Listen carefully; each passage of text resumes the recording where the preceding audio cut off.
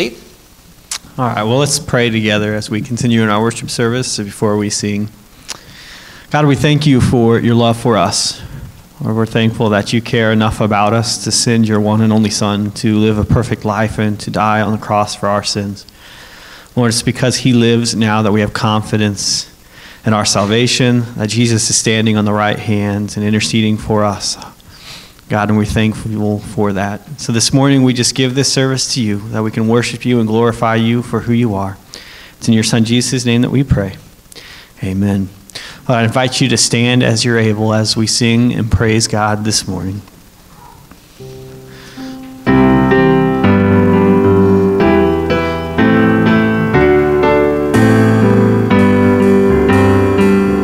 God sent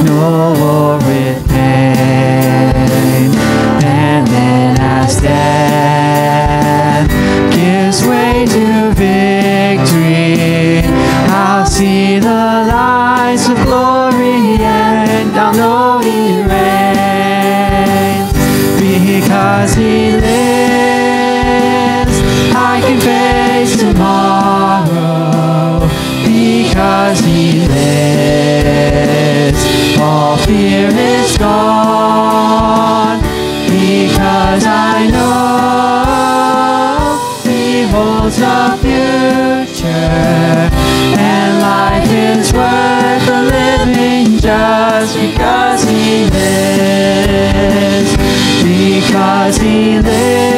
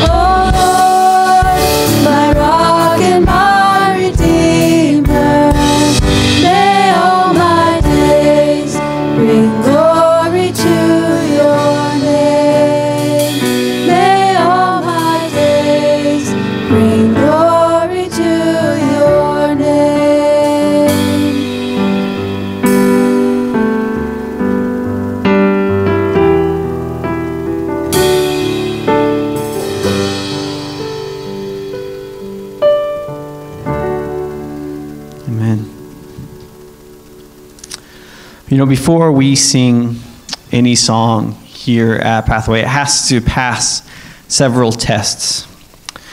Um, some of the tests, one of them is it is the song singable, right? That is it written in such a way that the average untrained musician can learn it and sing it without any issues. Another test is is the song appropriate for our current setting? So perhaps it's a good song, but maybe we already sing a lot of songs that speak to that specific theological point, and um, so maybe we won't sing it at this time. Um, so we need a healthy diet of good theological topics when we sing, and so we won't sing that song. But I think the most important test that we put songs through is are the songs biblical? And that are the truths found in the song found in Scripture, and are they accurately articulating the truths that we find in Scripture? Some songs we sing here anchor themselves in a specific passage of Scripture. For example, we sing a song, um, All My Ways, uh, which anchors itself in Romans 8, right? But some songs we sing kind of pick passages from all throughout Scripture. And one of the dangerous parts of doing that is it's easy to take verses out of context to fit the what you need in a song.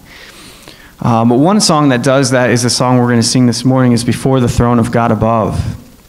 And I think it's an important practice in what we do. And even as you sing songs throughout your week, as you sing Christian songs or worship songs, that you dissect the, the lyrics of the song and put them to the test of Scripture. And is what the song is saying accurately interpreting what Scripture says? And so when we take the song before the throne of God above, we can do that even with just the first verse this morning. It says, Before the throne of God above, I have a strong and perfect plea. And in Hebrews 4:16 it says, "Let us then with confidence draw near to the throne of grace, that we may receive mercy and find grace to help in time of need." A great high priest whose name is love, whoever lives and pleads for me. In Hebrews 4:14 says, "Since then we have a great high priest who has passed through the heavens, Jesus the Son of God, let us hold fast our confession." My name is graven, graven on his hands, my name is written on his heart. I know that while in heaven he stands, no tongue can bid me thence depart. Romans 8:34 says, "Who is to condemn?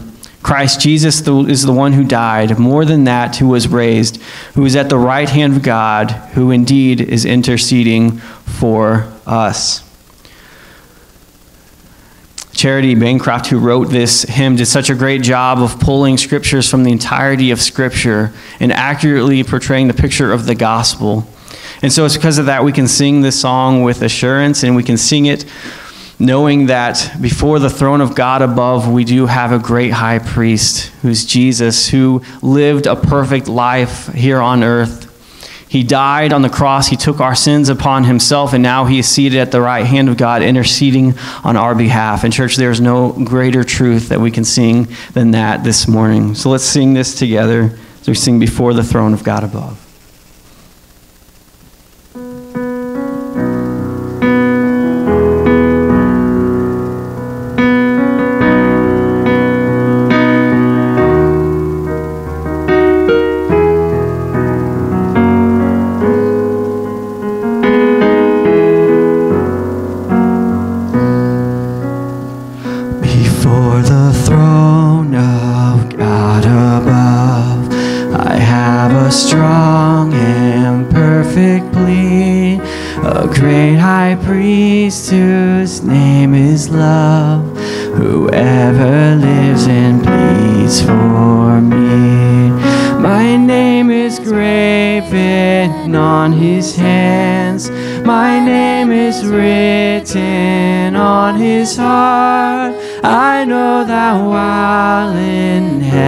Stands. No tongue can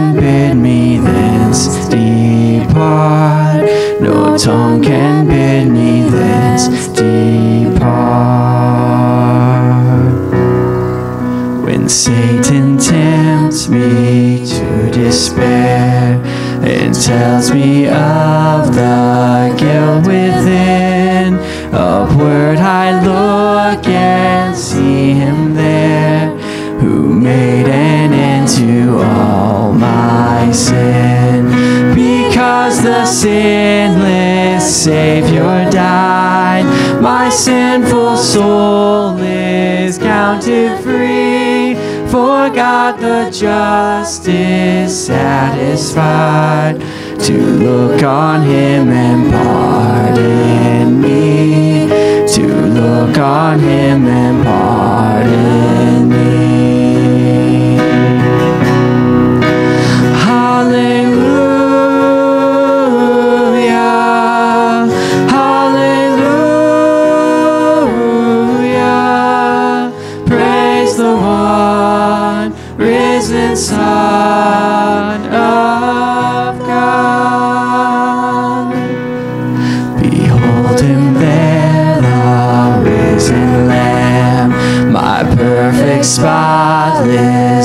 righteousness, the great unchangeable I am, the King of glory and of grace. One with himself, I cannot die. My soul is purchased by his blood. My life is hid with Christ on high, with Christ my Savior and my God, with Christ my Savior and my God.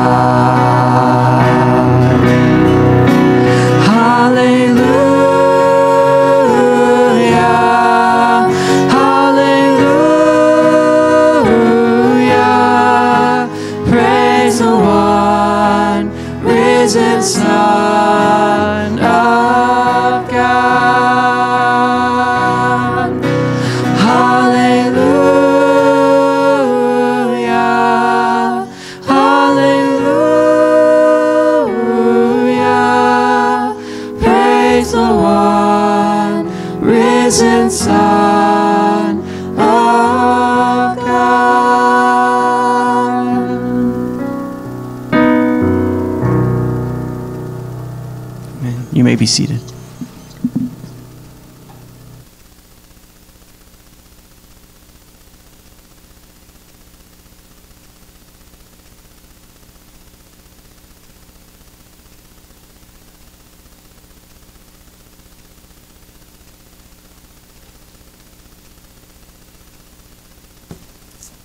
You bow your heads with me as we pray. Father, we do. We sing hallelujah. We praise you. We thank you so much for our salvation. We thank you for the opportunity to be gathered, to study your word, to allow the Holy Spirit just to transform us and to make us into your image. Oh, we praise you and we thank you for the cross and all that was accomplished there that day. And I pray, Lord, that you will be honored, you will be exalted this morning as we dive back into the, the chapters of Genesis and the story that is, is given to us there, the account of just humanity and, your glory of who you are, Lord. And I just pray that, again, that all that we study, all that we look at, it'll, it'll be honoring to you. We thank you for your word. We thank you for this time. We love you and we praise you. In Jesus' wonderful name, amen. If you have your Bible, I'd like to invite you to turn with me. We are in the fourth chapter of the book of Genesis.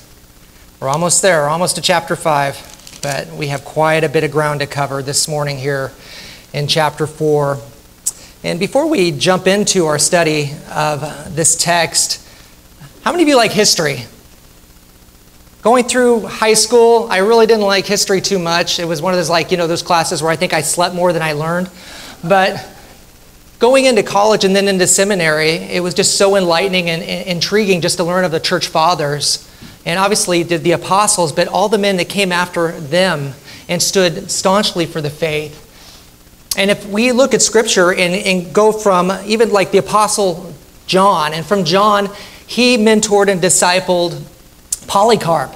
And Polycarp was an amazing individual. He was the bishop of the church of Smyrna, and he went, he went to the grave as a martyr, standing for the truths that are within Scripture. The second century, you have Irenaeus, and he was in the area of France. He was a bishop to that, to that region, but again, a staunch defender of the faith. And of course, when you get into the third and the fourth century, we come to Athanasius. And Athanasius, he, he had a great task at hand. He stood against the heresy of Arianism. And if you know anything about Arius, Arius was a man who believed that Jesus was fully man, but he did not believe in the divinity of Christ. And Athanasius, he went at that head first, headlong, to say, uh, uh, I don't think so. He even wrote a creed, the Athanasian Creed, to put down in writing who Christ is, that he is the Son of God, that he is God in the flesh. But there's one church father in particular who really caught my attention when I was going through seminary, and his name is Augustine. How many of you ever heard of the church father, Augustine? He's an amazing man. He was a bishop of Hippo from 396 to 430 AD. He was one of the Latin fathers of the church. He was an incredible theologian, a great thinker of the faith. Augustine's adaptation of classical thought to Christian teaching created a theological system of great power and lasting influence that we still hold near and dear today. And one of his greatest works was known as, it's called The City of God. And in this writing, he basically outlined that there's two groups, two distinct cities of people within the world system, each having a distinct origin, development, and destiny. The first group is comprised of earthly people. These are the men and women who love themselves, but they have a disdain for God. They may be religious, but they don't necessarily care anything about the one true God or who He is or the true gospel of the Lord Jesus Christ. And then there are the heavenly people, those who have a love and devotion to God, and they have a contempt for self. One city belongs to God and will inherit eternal life. The other city, it is destined for outer darkness and destruction. Now, throughout Scripture, we do in fact have this dualistic view of history, of mankind. God's word tells us that there are two camps from which all of humanity are comprised.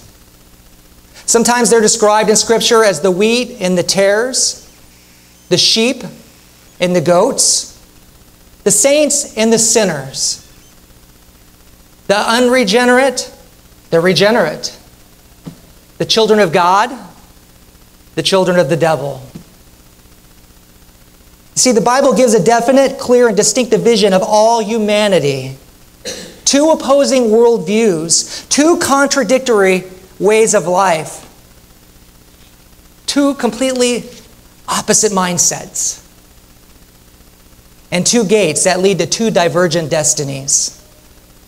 As a matter of fact, Jesus gave us a sober warning concerning the reality of this in his Sermon on the Mount in Matthew chapter 7. Listen to what he says. He says, Enter by the narrow gate.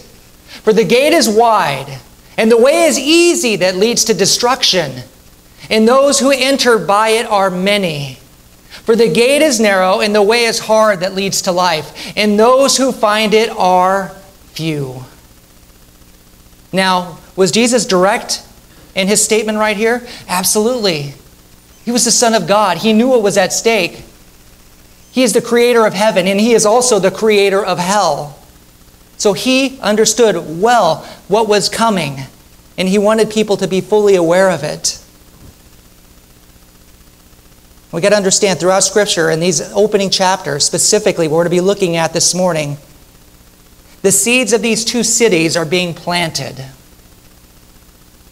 When Adam and Eve sinned against their Creator, we're told in chapter 3, verse 15, where we are given the proto evangelium, or the first good news of the gospel the first prophecy concerning the Son of God and how he would crush the serpent.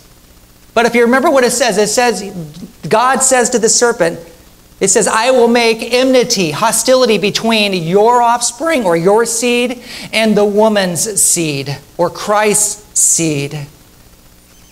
In other words, there would be an ongoing battle that would be fought between these two groups of people. And as we have seen, this prophecy became a reality quite quickly, didn't it? Adam and Eve, they had two children. Who, and who were those two children? Cain and Abel. Cain was of Satan's seed. Abel, though a fallen man, he was of God's seed. And we know that Cain was of Satan's seed because what's the first thing he does? He lures his brother out into a field and he murders him. And understand, from this point forward, literally just four chapters into the Bible, four chapters into history, we see the seed of the serpent taking hold, taking the human heart and twisting it, morphing it into something wicked and even more wicked as time goes on. And not only in Cain's life, but all of his descendants. You see, through the line of Cain, the city of man is born. And this is not a city, beloved, this is not a city that anyone wants to be a part of because its end is death. So, with all this in view, with this background and context, let's look at, look at the story here. Pick up the story starting in verse 16. Genesis chapter 4, verse 16. Then Cain, then Cain went away from the presence of the Lord and settled in the land of Nod, east of Eden. Now, what we need to look at right here is we know that Cain murdered his brother. God judged Cain. And he told Cain, you know what? You will be cursed to wander the land forever. And right here, that's exactly what Cain does. He picks his bags up, he packs his bags, and he leaves the presence of God.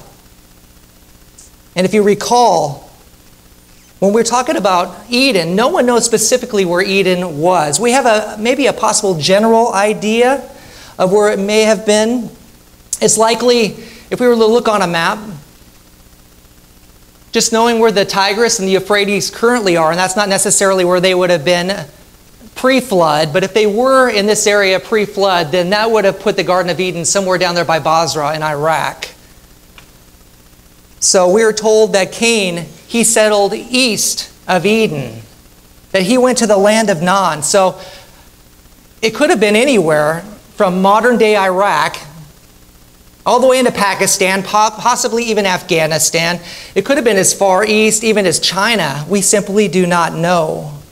But what is more important about this text, what I want you to see right here, is not the, the physical location of where Cain went. I want you to see the spiritual reality of where he went.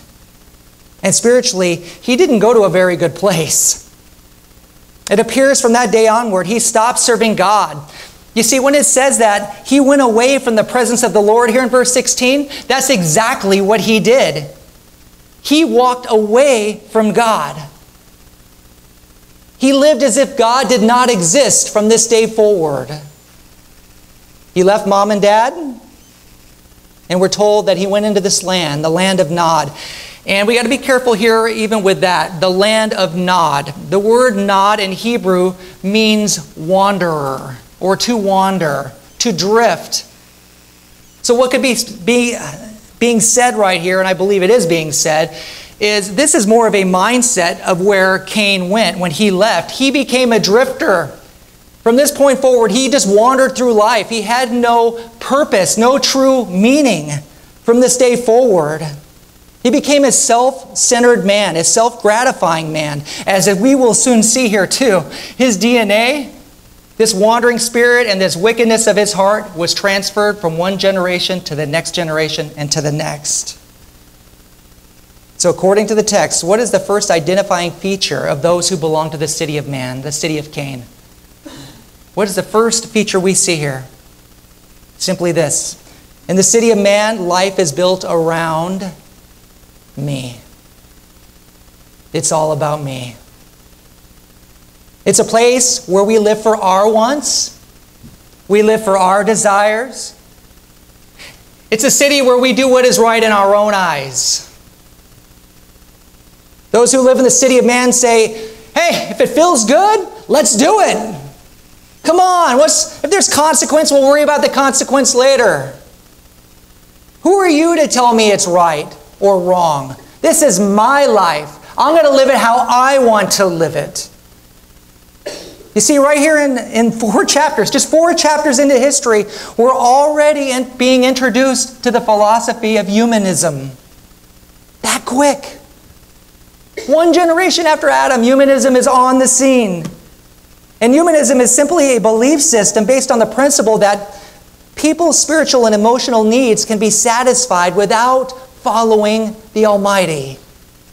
You can live life and you could be happy and you could do everything you need to do in this life without God. Put God to the side.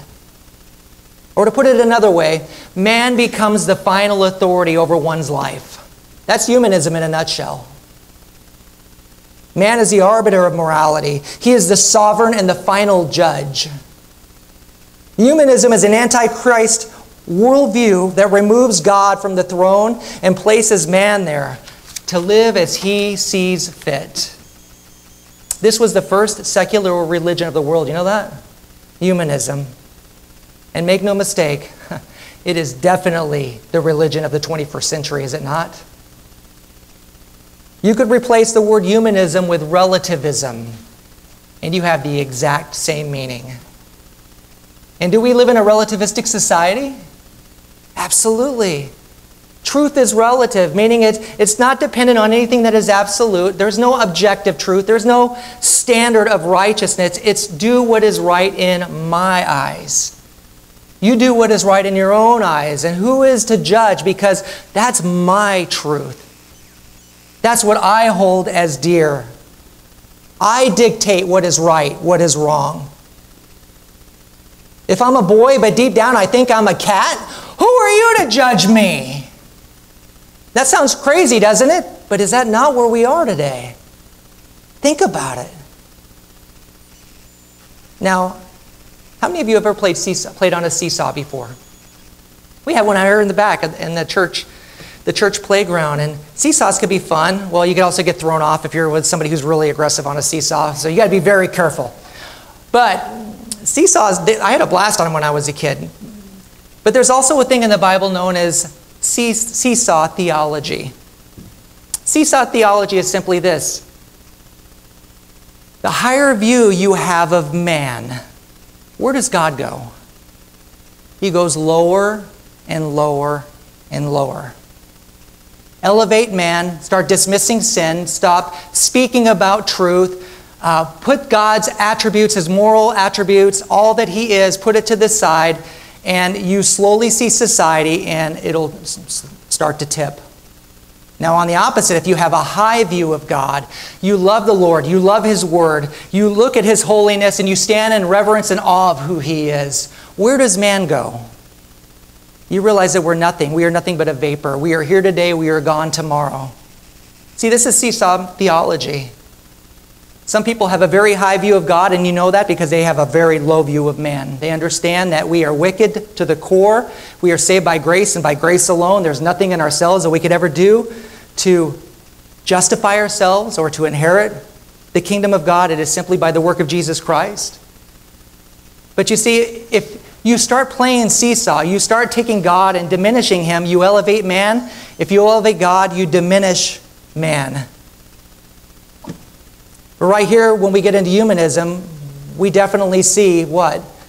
The elevation of man in God is completely removed, diminished. I like how Francis Schaeffer sums up the history of humanism by showing how they have changed the 23rd Psalm. We know the 23rd Psalm. How does it start? The Lord is my shepherd, I shall not want. The humanist started out by declaring, I am my shepherd. Then, sheep are my shepherd. Then, everything is my shepherd. What is the final place of humanism when you get to the lowest and most debased? Nothing is my shepherd. That's where we're at today. Nothing is my shepherd. Me, me, me. It's all about me.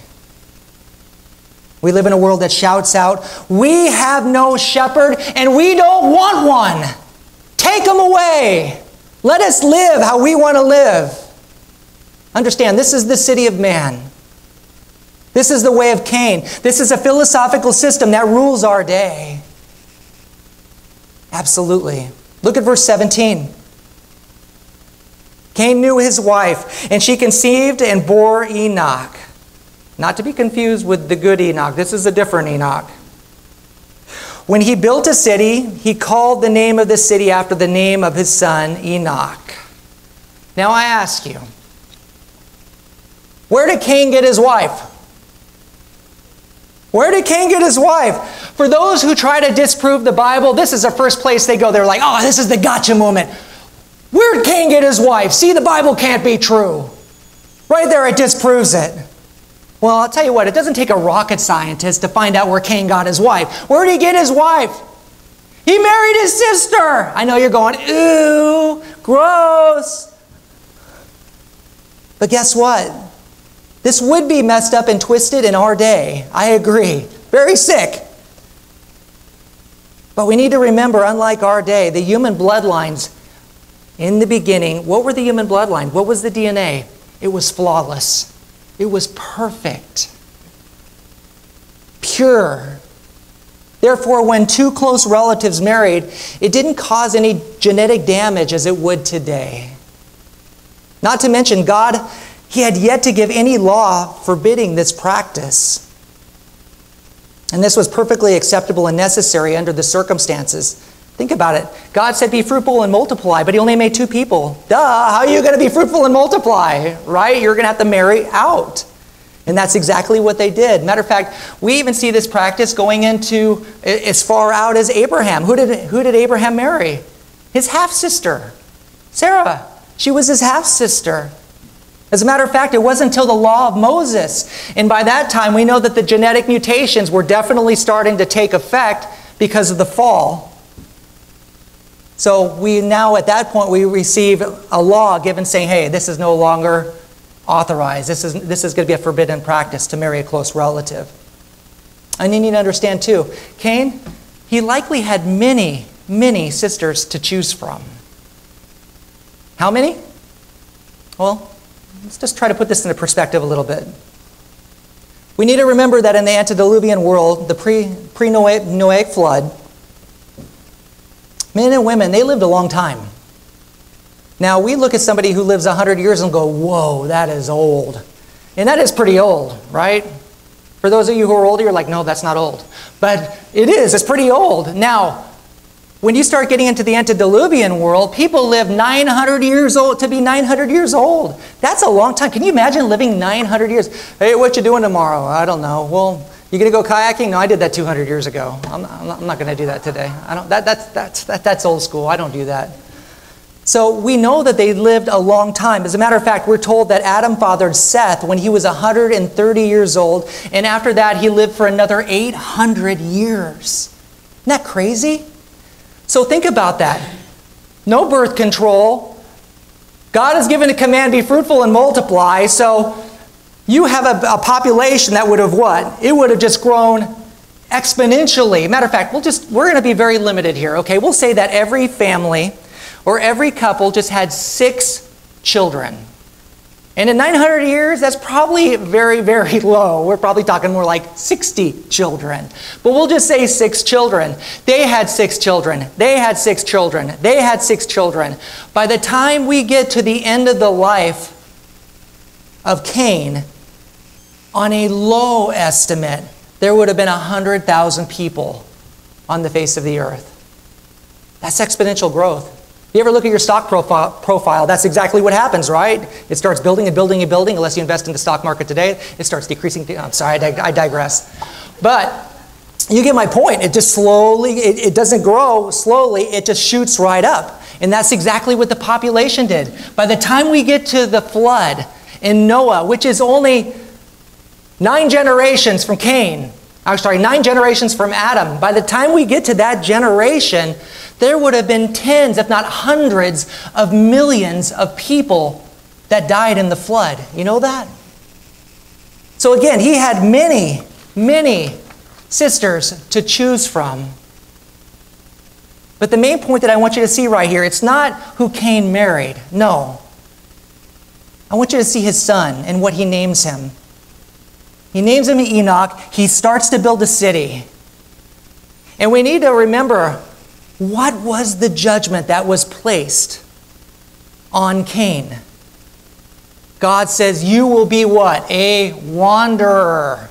To the land of Nod. Again, you're a drifter. You're not going to be able to settle down. And what appears to happen right here is Cain has other ideas. He basically says, Okay, God, he says, I'm going to be a drifter. I'm going to be a wanderer. I don't think so. I'm building a city right here, and I'm going to name it after my son. Ha! You take that, God. That's essentially what it, what it looks like it's saying right here. Now, I ask you, when godly men build cities within Scripture, and we see those cities being built, how did they name them? They named them in ways that would bring honor and glory to the Creator, to God. Matter of fact, we have names such as Jehovah, Jehovah Shalom, the Lord is my peace. Jehovah Nisi, the Lord is my banner. Jehovah Jireh, the Lord is my provider. So they name the cities after these name. They name these cities after in a way that would honor God, that would bring Him glory. Matter of fact, the city of Shiloh, it means He who it is, which is a messianic title representing who? Christ. Shiloh was named after Jesus. When godly men named towns and cities, they did it in a way that brought glory and honor to God. They boasted in the name of their Lord. Oh, but not Cain. Nope. Instead of elevating God, what does he do? He elevates himself. Understand, this is the way in Man City. What does the city man look like? It is filled with men and women who love to boast in their own accomplishments. They take pride in what they've done. They love to boast about what they've made with their own hands, to take credit. They say, Look at me. Me. Everything's about me. Look what I've done. Look how successful I am. Look how smart I am. Look how rich I am. Ha! Look how pretty I am. Beloved, when you look at the cruel world system, is this not a fitting image? This is the city of man. Think of all the online influencers that are out there. They tell our kids how to think. They're constantly subliminally and not so subliminally telling them how to think, how to act. They tell them what will make them happy. Think about all the phone apps we use every single day Twitter, Instagram, TikTok, YouTube, Rumble. What is the message that is constantly being put out day by day? Minute by minute as we're on that phone. It's all about who? Me. You may say it's not true, but trust me, that's what they're telling you. And that's what's being absorbed. It's all about me. How many of you ever remember back in the day, and I'm dating myself and I can't help it? You remember the Muppets? I love the Muppets, especially Beaker. Beaker, he was the original influencer. Do you know that? What was the one thing he always said? Me, me, me, me. It's all about me. I've seen some Facebook users where they feel the need to post a running commentary on their daily activities. They start out by what they ate for breakfast, they go into lunch and then dinner. They have emojis that tell them how they're feeling at any given moment throughout the day. Oh, I'm sad right now. I'm anxious now. Oh, now I'm feeling happy again. Throughout the day, it's just a constant constant look at their life. Me, me, me, me. Understand, we're continually being inundated by lies and indoctrinated into becoming narcissists.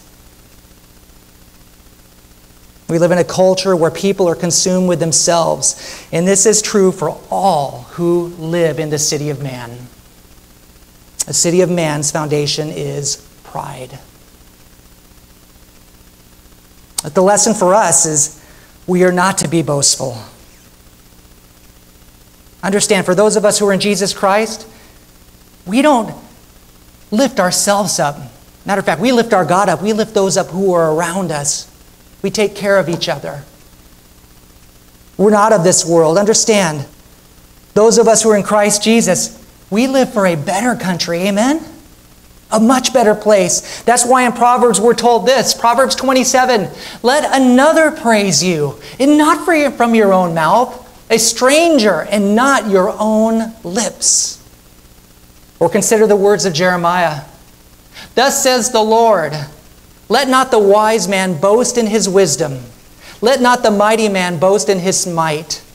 Let not the rich man boast in his riches, but let him who boasts boast in this, that he understands and knows me, that I am the Lord who practices steadfast love, justice, and righteousness in the earth. For in these things I delight, declares the Lord. You want to look to the New Testament, there's no greater person to see this in than in the life of Paul. Paul, he had much to boast about, a Pharisee of Pharisees from the tribe of Benjamin, one who was in the law blameless, but yet Paul could go to the, to the Galatian church and write to the Galatian church concerning what his boast was truly in. And where was Paul's boast? What did he care about? Well, we're told in Galatians 6 but far be it from me to boast except in the cross of our Lord Jesus Christ, by which the world has been crucified to me, and I to the world. In other words, take this world and throw it away. I don't care. I care about one. I have an audience of one. It's my God. I will boast in Jesus Christ and in Him alone. You see, Cain, like so many others after him, they failed to acknowledge and give glory to God. And because of this, the human heart, it became darker. It became more corrupt with each and every generation. Look at verse 18. Verse 18. To Enoch was born Irad. And Irad fathered Mehujael, And Mehujael fathered Methushael. And Methushael fathered Lamech. And Lamech took two wives. The name of the one was Adah, and then the name of the other was Zillah. You got all that? There's going to be a test next week. You better study up. Now, here we're given Cain's grandchildren, and we're also shown a little bit of man's heart. Matter of fact, the, the further that it slips into depravity, the more wicked that man becomes. What's the next thing that comes on the scene? polygamy. Polygamy. We see it right here. We're told that Lamech took for himself not one, but two wives. Now, again, what did God ordain for marriage? Marriage is between one man and one woman for life. God says, cling to your wife. But in the Old Testament, though it wasn't necessarily sanctioned by God at all, there were many who engaged in polygamy. And why? Why did Lamech take two wives right here? Well, there could be several reasons, but I think one of the main reasons was if you're trying to build a name for yourself and if you want to be powerful and you want your, your, your, your family to be a powerful family, what do you need? You need descendants. What's the quickest way to have descendants? Take an extra wife, right? You have double the kids. I think that's a good possibility why he did it. But right here, we're also given another reason of how he chose his wives. Look at how he chose them. He didn't choose them because of something that was internal. I think it was something else. The name Adah means pleasure or ornament or beauty. And Zillah means shade so she probably was endowed with a beautiful long head of hair. And Lamech's daughter was named Naamah, which means loveliness. You see, the city of Cain was a place committed to the physical desires and the pleasures of the world. Where a person's worth, it wasn't found in their character. It wasn't found on who they were on the inside. It was all about what? The external. All about how you looked. They were committed to the outward pleasures, not the inward qualities that matter to God. You see, this is how it is with man's city. The city of man lives for physical pleasure. Physical pleasure. It was dominated by the lust of the flesh, the lust of the eyes, and the pride of life. Peter gave the church instruction in his first letter telling us how we as Christians should view things, and it's not like the city of Cain. Listen to what he says in 1 Peter 3 4. He says, But let your adoring, your adorning be with the hidden person of the heart, with the imperishable beauty of a, of a gentle and quiet spirit, which in God's sight is very precious. What's important to God? Is it your, is it your weight? Is it, your, is it how you look if you're tan? What does God care about? He cares about the heart. The inward humility and beauty of the Spirit. That's what's important to Christ. But it was of no value to Cain or his descendants.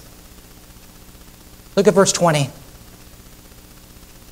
Adah bore Jabal, and he was the father of those who dwell in tents and have livestock. His brother's name was Jubal, and he was the father of all those who play the lyre and the pipe. Zillah also bore Tubal Cain. He was the forger of all instruments of bronze and iron. The sister of Tubal Cain was Naamah. Now, looking at these men from a human point of view, from a humanistic point of view, it would seem that Cain and his descendants were definitely making a name for themselves, don't you think? They have a lot of skill. They're doing a lot of, a lot of stuff. It's interesting, too, because evolutionists, they try to paint this picture of early man as Neanderthals, and, and they're, they're dumb and walk, they're walking around and they don't know what they're doing, and they don't even know how to write on a, on a, on a rock, right? That's not what we see here in Scripture. Quite contrary, early man was very sophisticated. They were very intelligent. You think of Noah, nine generations down, he built an ark. How many of you have ever been to the ark down in Kentucky? You look at that thing, you're like, uh, wow. it's amazing. Yeah, it took them a little time to do it. But they were very, very smart. Very smart people. They were advanced in their farming abilities, their metalwork, even their music and their arts. Understand, this was the making of a civilization, even in these early periods, the early period that we see right here. And understand, none of these skills that are listed here are bad in and of themselves. Playing music's not bad. Metal and woodworking's not bad. Raising livestock is not bad. Matter of fact, what did Abel do? He raised livestock. King David, he was a musician. But for David and Abel, these abilities, these gifts and talents that they had, they weren't used to make a name for themselves. How did they use them? They used them for God's glory. All their gifts, all their talents were ultimately used for the Lord. But not Cain, not his sons. They were skilled and gifted men, but they used their gifts for their own glory. You see, right here, we're given another identifying trait of Cain's city the city of man's God. Oh, it's materialism. And understand, we may think that materialism is something new in our day, uh, but that couldn't be farther from the truth. Understand, this God has ruled the human heart since the beginning of creation. You see, for some people, their God is their job. Some spend 60 to 70 hours a week intentionally, not because they have to, intentionally, because they're just consumed with it. For others, their God is their house. They spend the majority of their time and their money trying to get their house just the way they want it. For others, it's entertainment. Back in the day, I remember going into a friend's house and I was just blown away. There was a cabinet, and in this cabinet, which was as high as the ceiling, all the way across the wall, was solid DVDs. And I'm like, what in the world? I'm like, have you watched these? He's all, yeah, a couple times each at least. I was like, wow. That was his God. That was his God. Some it's video games. Some it's sports. Oh, yeah. Sports? That could be a major idol. idolizing the favorite, favorite college team or bowing down to the NFL football god. I've met some guys that all they could talk about for four months out of the year is their fantasy football league. Nothing else. Nothing else matters. It consumes them. Understand the human heart is an idol factory. We're really good at making up gods to rule over our lives, are we not? And sometimes it can happen without us even knowing. It just comes and takes over. But Jesus gave us a strong warning concerning materialism in his Sermon on the Mount as well. Listen to what he says. He says, Do not lay up for yourselves treasures on earth where moth and rust destroy and where thieves break in and steal, but lay up for yourselves treasures where? In heaven, where neither moth nor rust destroys, and where thieves do not break in and steal, in and steal. For where your treasure is, there your heart will be also. Jesus' point is simply this our life is a mist. It's here and it's gone. When we think about even, you know, our, how, our homes and all that we do in our homes, at the end of the day, we're all going to go and we're going to die. We're going to be laid to rest. We're either going to heaven or we're going to hell. What's going to happen to that house over a period of time?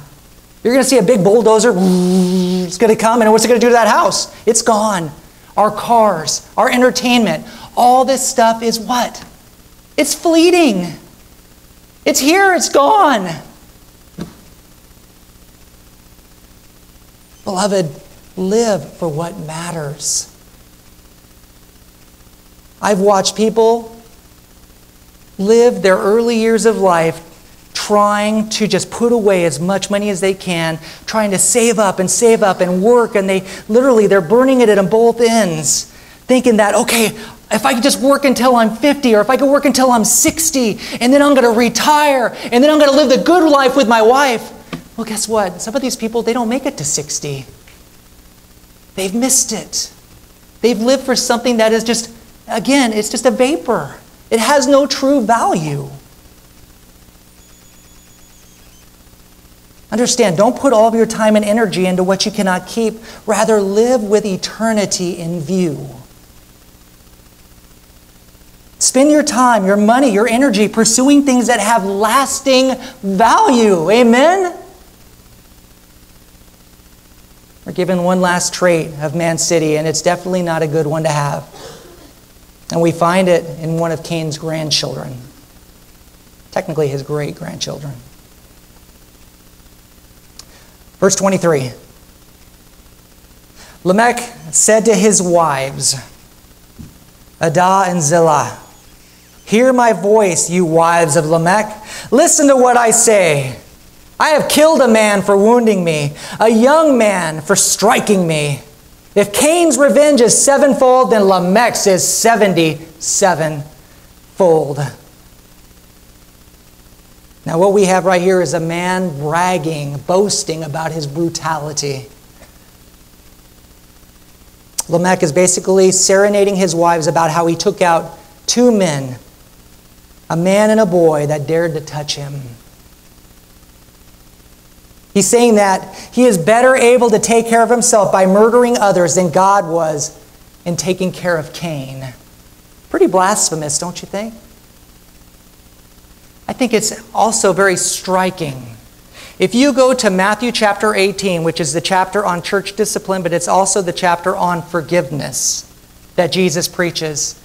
And in that chapter, in Matthew chapter 18, we have this, we have this story or this account where Peter goes to Jesus and he says, Lord, if someone sins against me, how often should I forgive them? Seven times? And what does Jesus say? Do you remember? Jesus says no, 77 times. You think that Jesus possibly could have been thinking back to this account of this brutality that was taking place in the boasting of Cain, and now taking that exact scenario and turning it and showing the truth of what true love and forgiveness looks like? I think it's definitely possible. But one quality that we know that we definitely see here in Lamech is this number five the city of man is filled with arrogant vengeance and violence. And again, of course, we see this today, do we not? Men and women who view life of other human beings as nothing, trivial. The murder of the innocent, euthanasia, life is disregarded as something that is just put to the side. It's like, oh, not a big deal if I kill somebody. Don't kill Flipper, but make sure, you know, if you want to kill a human being, oh, that's, not, that's not a big deal. Hmm. Paul gave a somber description of this city of man in 2 Timothy. Listen to what he says. But understand this that in the last days there will come times of difficulty.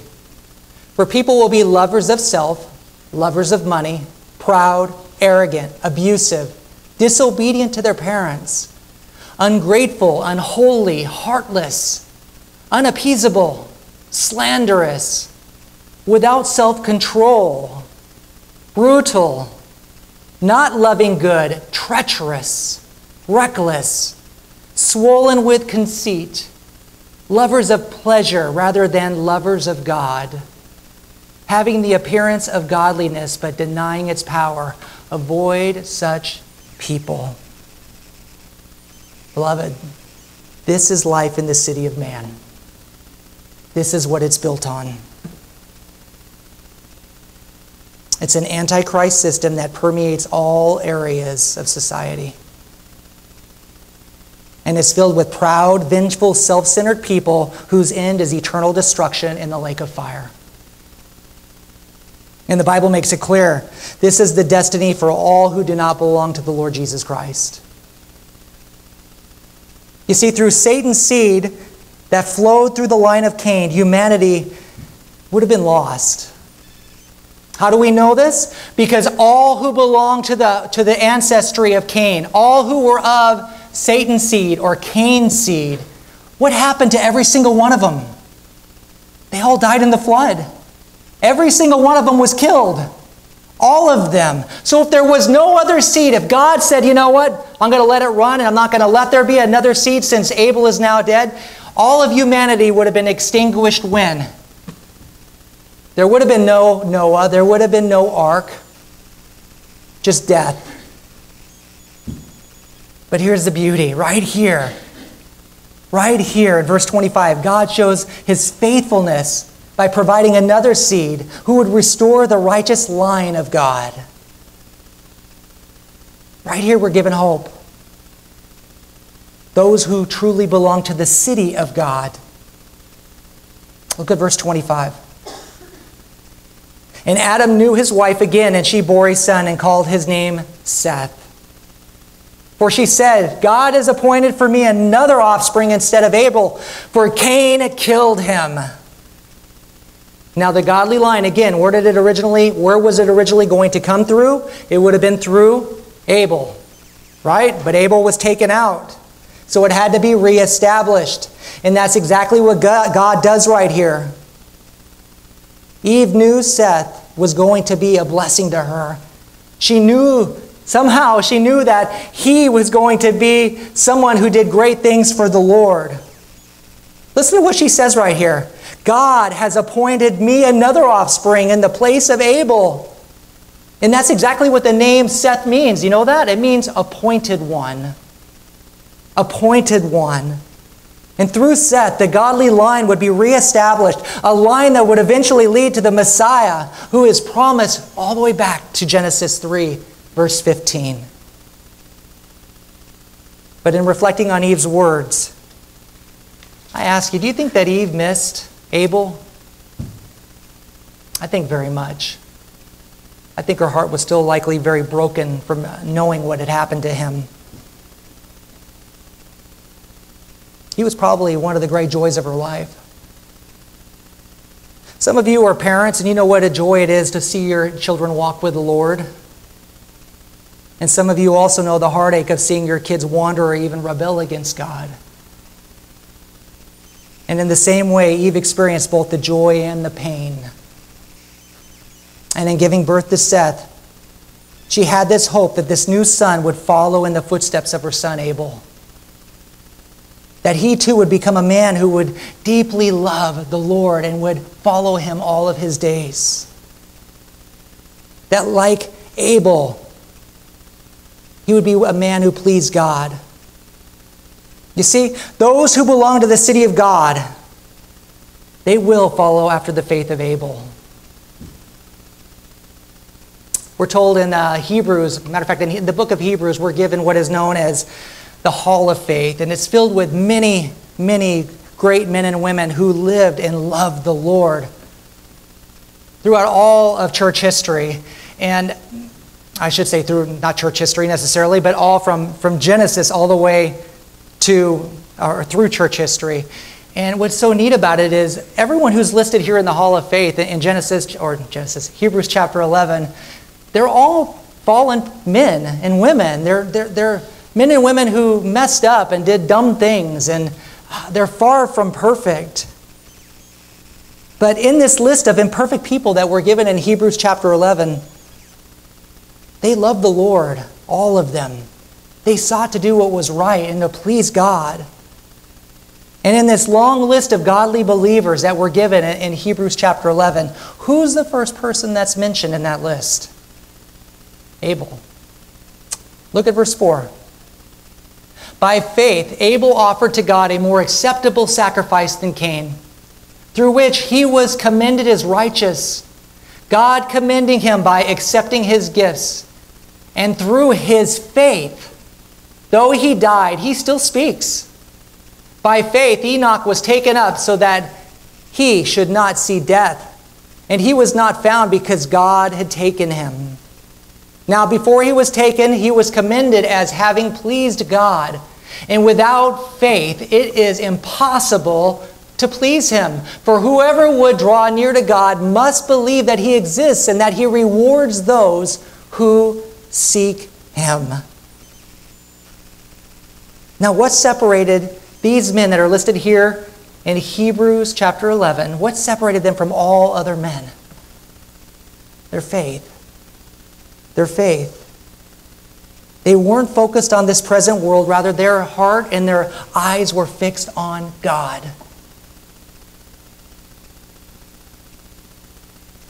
They were focused on the eternal, on what lasts, not what is passing away. You see, all the people who are mentioned here in Hebrews 11, they were all heavenly minded. And according again to this passage, who was the first heavenly minded person ever? Abel. Abel. He is the first man we see that truly pleased God. He is the first man who died for the cause of God. And he is the first man who ever reached heaven. And so, like Abel, all those who are part of the city of God, they walk by faith, not by sight who don't trust in human ingenuity or ability, they trust solely in Christ. The faith of Abel proclaims that God is able. God is the one who we must look to for all things. And that leads us to the next characteristic of those who are in the city of God, and we find it in verse 26. Verse 26 To Seth also was a son born and he called his name Enosh. At that time, people began to call upon the name of the Lord. You see, unlike his brother Cain, Seth and his sons, they didn't name cities after themselves. They lived for an audience of one. They lived for the Lord. They didn't center their lives on things in the culture. They didn't brag about killing people. What did they do? They sought God. They sought after the heavenly. And this is a key trait of those who belong to the city of God. You see, here in the city of God, those who dwell in God's city will seek to honor Christ above all. I once heard a story.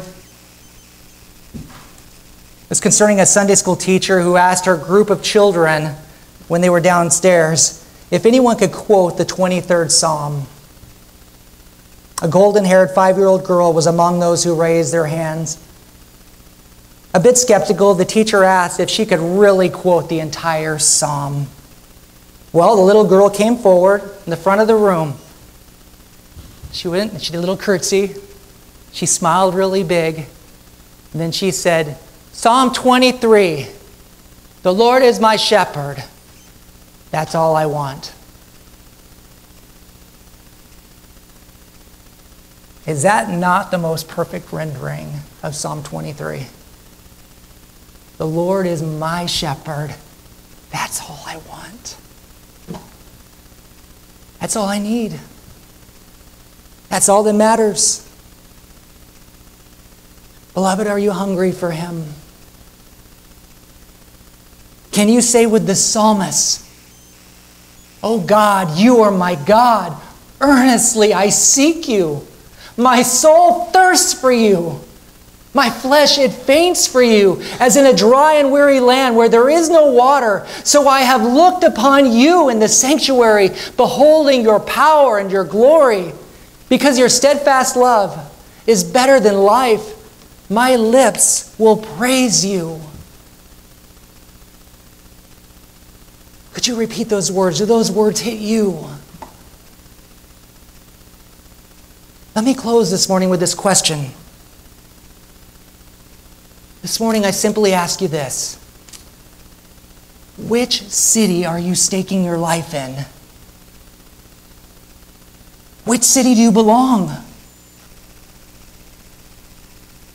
The best way to tell is to first ask this question How am I living my life right now? Is it pleasing and glorifying to God?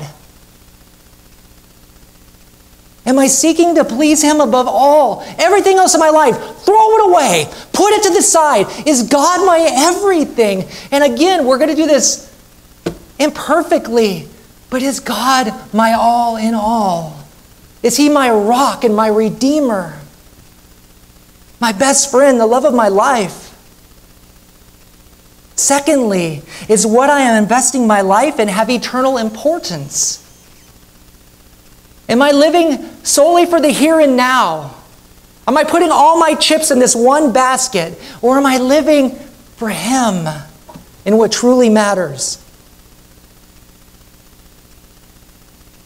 Think about where you put your time, your energy. What do you spend most of your free time doing? How about your energy? What are you truly passionate about? If someone is talking about the Lord, does that get you excited? Or you're like, oh yeah, that's just that's just God talk. How do you spend your money?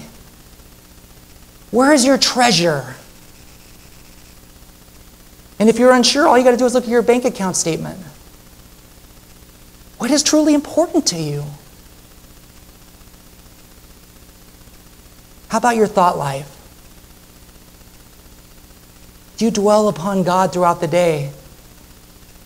Or is it just, oh, we need to go to church and then, yeah, we, we think about God for that hour uh, during the message, and then after that, it's, yeah, I go live my life. Beloved, we need to remember Paul's words that he gave us in Colossians chapter 3. He says, If then, meaning if you are born again, you belong to Jesus Christ. If then you have been raised with Christ, seek the things that are above, where Christ is seated, seated at the right hand of God. Set your minds on things that are above, not on things that are on the earth. For you have died and your life is hidden with Christ in God. When Christ, who is your life, appears, then you will also appear with him in glory. In other words, this all this stuff, it can be put away. Where is your eyes? They should be focused on him, in his word, meditating on his goodness, his faithfulness, all that God is. Understand, there are many running around today frantically looking for something to believe in, something to give them meaning and worth. But yet, for those of us who belong to the Lord Jesus Christ, we've been given the greatest purpose ever. It doesn't get any better. To know Him, to make Him known. Understand, life in the city of God, it is a forward looking life. It's not concerned. It's like uh, the horse with the blinders. Our eyes are just, we're just, we're focused on what's to come. We're focused on this being a citizen of a different country and being in that country, loving others around us with the gospel, encouraging each other, building each other up in the faith, coming alongside and praying for one another. This is the city of God. It's a city of encouragement. And it's a city where we find life. Life that continually looks forward to meeting with the Lord Jesus Christ.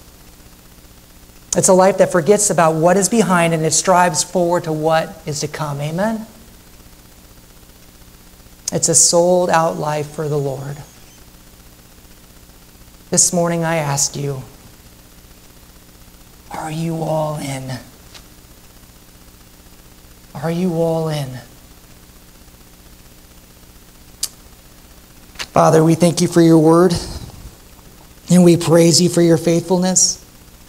We thank you for, for when we deserve nothing but hell from the fall of Adam and Eve, you, you provided a way for us to be saved, sending your Son.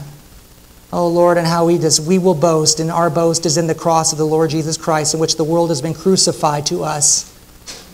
We live for you. We live for a better country. And I pray, Lord, this morning, if there's anyone here this morning that they've just been struggling with this, or just they've been one foot in the church, one foot in the world, but this would be the day where they go all in full surrender to you. You are faithful. You have done it all, Lord. You are the one who gives us faith. You are the one who transforms us. You are the one who guarantees that you will perfect the work that you have started in us. You are our boast. You are our hope. You are our pleasure, our joy, our peace, our comfort. You are everything.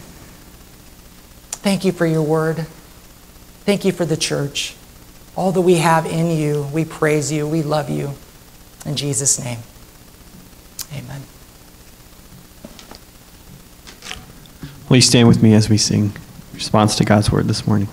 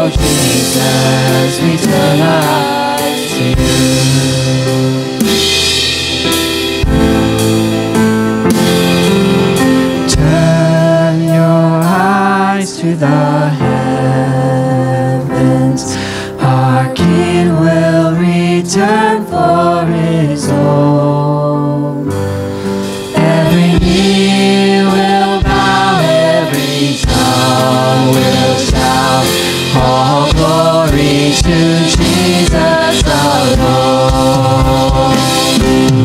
Jesus, to you we lift our eyes. Jesus, our glory and our prize. We adore you, behold you, our Savior ever true. Oh Jesus, we turn our eyes to you. Jesus, to you we lift our eyes. Jesus, our glory and our pride. We adore you, behold you, our Savior ever true.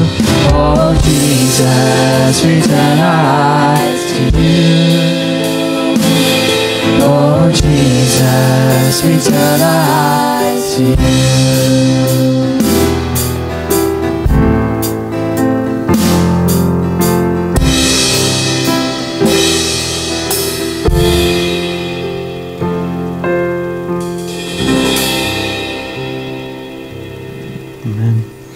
Like to have the ushers come forward as we take the offering. Will you pray this with me this morning? God, we come this morning with grateful hearts. Lord, in awe of all that you've blessed us with. Lord, each and every day we're given blessing after blessing, far too numerous for us to count. And God, we just say thank you. So, Lord, we thank you for this opportunity this morning that we have to give these offerings. And Lord, we don't give as an obligation, but Lord, we give as an act of worship to you, that you may be glorified and praised through it. And God, we not only give these tithes and these offerings, Lord, but we give you our lives to service for you, to worship you for all our days. It's in your Son, Jesus' name, that we pray. Amen.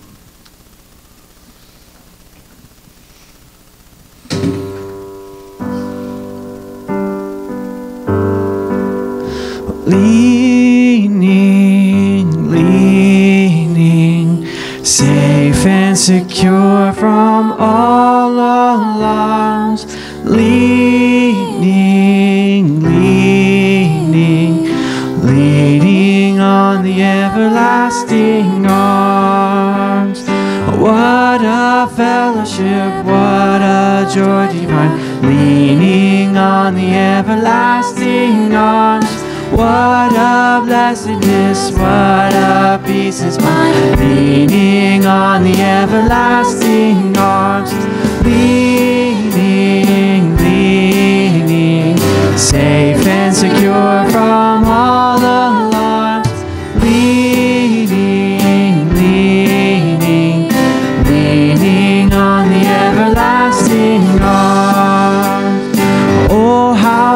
To walk in this pilgrim way, leaning on the everlasting arms. Oh, how bright the path grows from day to day, leaning on the everlasting arms. Leaning, leaning, safe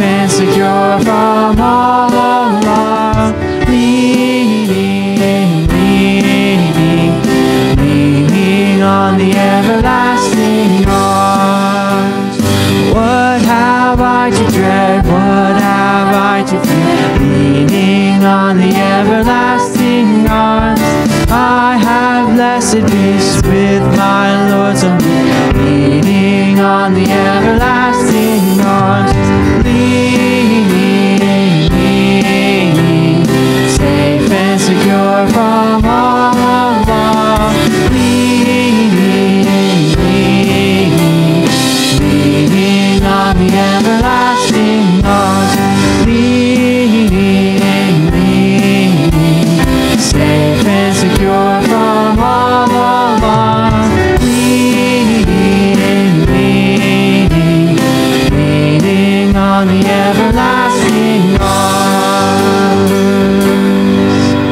following sermon was presented to you by Pathway Christian of Harlan. If you are in any way encouraged by this message or would like to know more, we would love to hear from you.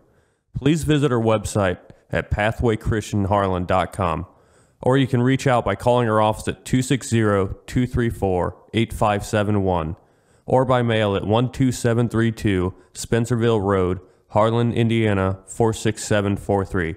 Until next time here at Pathway, God bless.